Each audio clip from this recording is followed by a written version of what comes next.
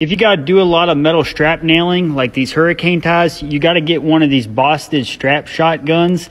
This is just a metal strap nailer, and it has a nice safety feature. You pull the trigger, it won't shoot the nail until you put it into the metal strap and push against it, and then it sinks it right in that metal strap. Boom. To learn more, tap on my profile and subscribe to my YouTube channel.